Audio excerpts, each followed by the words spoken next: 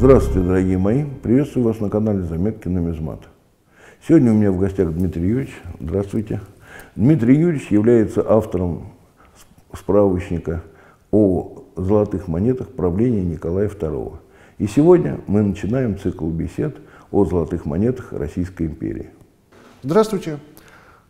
Мы начинаем беседы о золотых монетах времени Николая II. И позвольте мне сказать несколько вводных слов, очень важных для того, чтобы понять это время и понять, почему именно золотые монеты времени Николая II должны представлять огромный интерес для коллекционеров. Проведенная Сергеем Витте великолепная денежная реформа позволила буквально насытить денежное обращение Российской империи золотыми монетами. Никогда ранее э, в обращении не имелось столько золотых монет, к тому же разных номиналов и разных типов.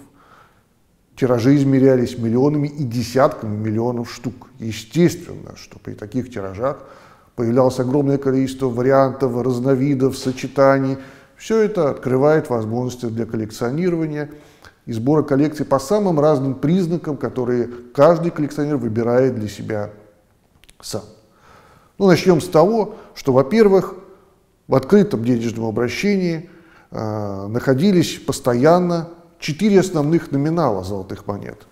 15 рублей, 10 рублей, 7,5 рублей и 5 рублей. Чего не было ранее э, в истории Российской империи. Две монеты, 15 рублей и 7,5 рублей, выпускались только с датировкой 1897 года, но важно сказать сразу, что, конечно, выпуск их осуществлялся не только в 1897 году, а и в другие годы, хотя, конечно, и незначительными тиражами. А вот монеты 10 рублей и 5 рублей стали постоянными спутниками россиян и использовались ими в повседневной жизни. Они могли быть использованы как жалование, зарплата, ими могли оплатить товары. И даже через некоторое время изменилось отношение к золотым монетам.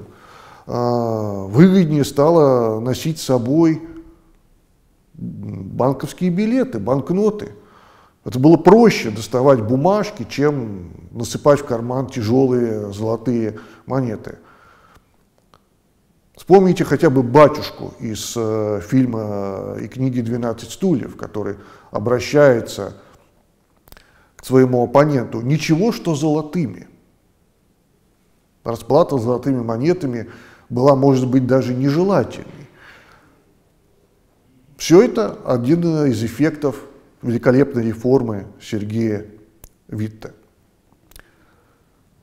Монеты начали выпускаться массово с 1697 года, но обращаю ваше внимание на то, что не сразу в числе номиналов появились 10 рублей. Лишь в 1898 году, через год после начала массового выпуска, страна увидела новые 10-рублевые монеты или империалы – и то очень небольшим тиражом. Напротив, в 1999 году выпущены много миллионные тиражи разных вариантов 10-рублевых монет. Почему так, мы сейчас не можем сказать точно. Ну, одна из версий, что кружок размером и весом, соответствующим новой 10-рублевой монете, был нетипичным для имевшегося ранее денежного обращения, и технологически не сразу получилось изготовлять монеты достаточно красивыми и износа устойчивыми. На это, собственно, ушло несколько лет экспериментов.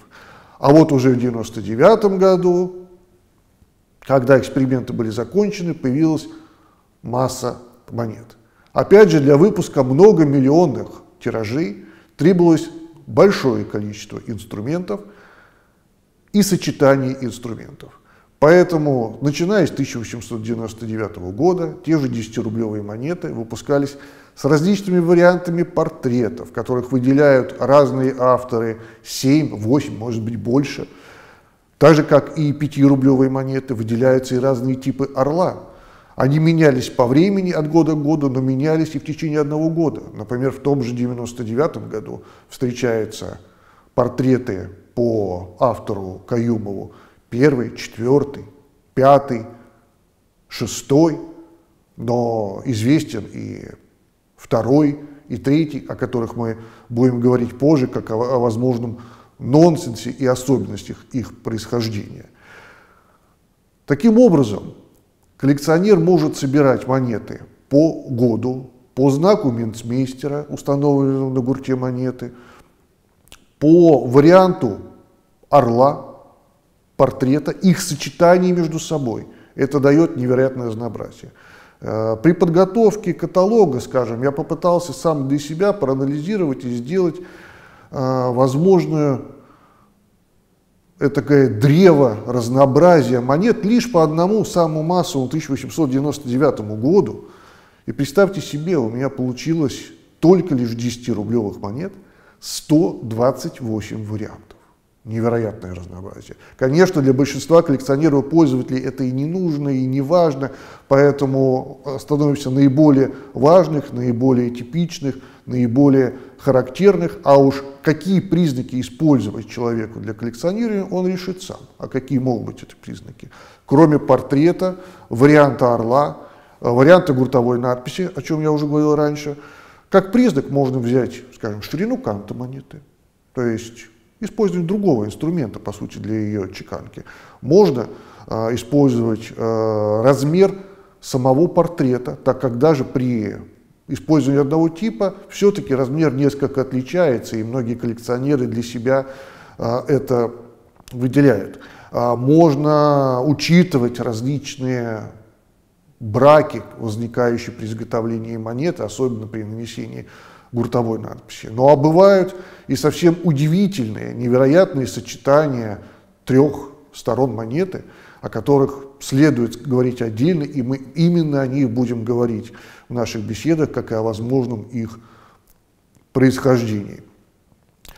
Итак, монета 15 рублей выпускалась только с датировкой 1697 года и выделяется разными авторами от трех до восьми основных типов 15-рублевых монет. Монета 7,5 выпускалась также только с датировкой 1897 год и известна тоже по разным мнениям разным авторам от двух до пяти разных вариантов этой монеты. Но разнообразие 10-5-рублевых монет мы уже говорили, оно, конечно, невероятно и огромно изменялось и качество чеканки этих монет.